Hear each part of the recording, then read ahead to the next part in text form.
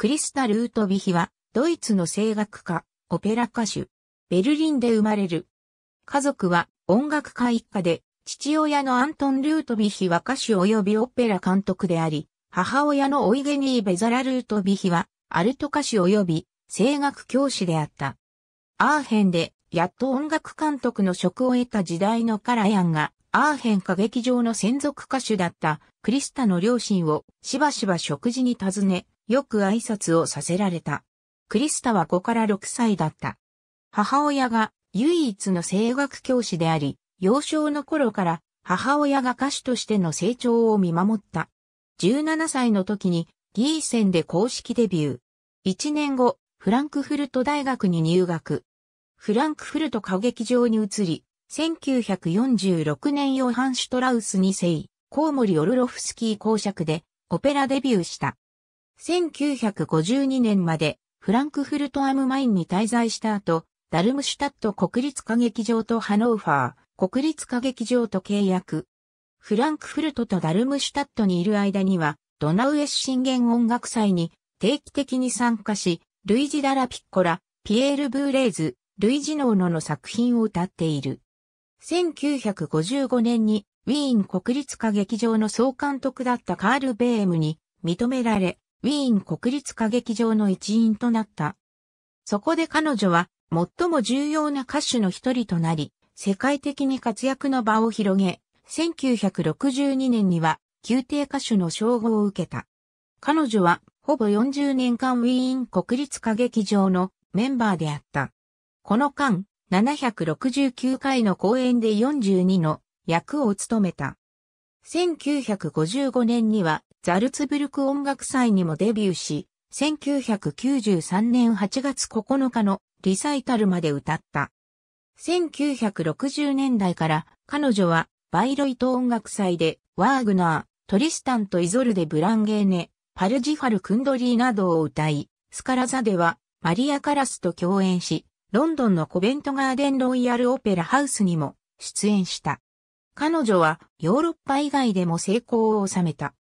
シカゴリリックオペラでの公演後、ルドルフ・ビング総監督にニューヨークに誘われ、1959年にメトロポリタンオペラにモーツァルト、フィガロの結婚ケルビーノでデビュ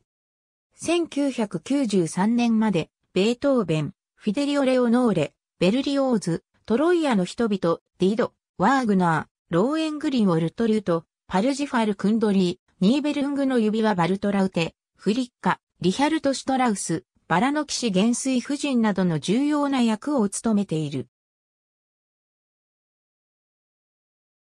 他にも、モーツァルト、コシファン・トゥッテ・ドラベルラ、ベルリ、ドンカルロ・エボリ公女、アイーダ・アムネリス、マクベス・マクベス夫人、ビゼー、カルメンタイトルロール、バーグナー、タンホイザー・ベヌス、トリスタンとイゾルデ・ブランゲーネ、リヒャルト・シュトラウス、ナクソス島のアリアドネ作曲家、バラの騎士、オクタビアン、影のない女バラックの妻、エレクトラ・クリテムネストラ、ベルク、ボツェック・マリー、バルトーク、青ひげ校の白ユリットなど、レパートリーはメゾソプラノだけでなく、リリックソプラノ、ドラマチックソプラノまで及んでおり、非常に幅広い。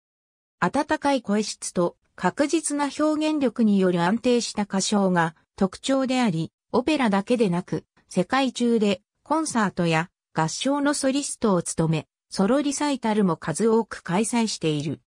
コンサートでは、ベーム以外にも、ヘルベルト・フォン・カラヤンなど、他の指揮者たちからの信頼が厚く、共演も数多い。レナード・バーンスタインは、マーラー交響曲、第2番、復活、交響曲第3番など声楽付き交響曲のアルト読賞に彼女をたびたび起用した。特に第一の歌は、オットー・クレンペラー、カルロス・クライバー、バーンスタイン、カラヤン、バーツラフノイマンなどと共演しており、いずれも名称として高く評価されている。リサイタルでは、シューベルト、シューマン、ブラームス、ボルフ、マーラー、プフィッツナー、リヒャルト・シュトラウスを多く取り上げている。彼女のリサイタルとレコーディングのピアノ伴奏は、セバスティアン・ペシコ、エリック・ベルバ、ジェラルド・ムーア、ジェフリー・パーソンズ、アーウィン・エイジ、チャールズ・スペンサーなどが務めている。ダニエル・バレンボイム、ツモン・バルト、レナード・バーンスタイン、ジェームズ・レバインがピアノ伴奏を務めたこともある。彼女はワルキューレ・フリッカで1993年にニューヨークのメトロポリタンオペラを後にした。1993年と1994年に彼女は歌曲リサイタルで世界中で送別ツアーを行った。1994年12月14日、ウィーン国立歌劇場での40年近くのステージキャリアの後、彼女はエレクトラ・クリュテムネストラとして舞台に別れを告げた。共演者の中で重要な指揮者は、カール・ベーム、ヘルベルト・フォン・カラヤン、レナード・バーンスタインであった。